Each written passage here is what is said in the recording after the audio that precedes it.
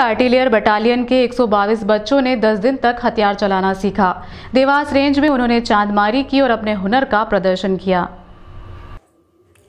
दरअसल 2MP आर्टिलियर battalion ने Madhav science college और माधव आर्ट्स कॉलेज के कैडेट्स का 10 दिवसीय कैंप आयोजित किया गया था।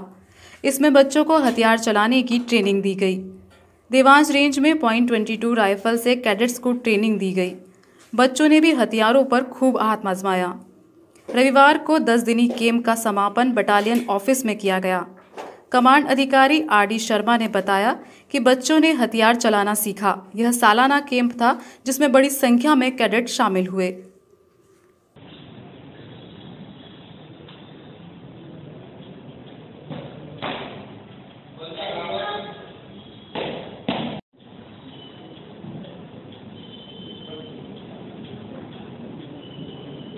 आज आज 10 दिवसीय एनसीसी कैंप का एक समापन हुआ है, जिसमें तकरीबन 130 बच्चों ने माधव आर्ट्स कॉलेज और माधव साइंस कॉलेज के 130 बच्चों ने भाग लिया है, जिसमें बॉयज़ और गर्ल्स कैडेट दोनों हैं।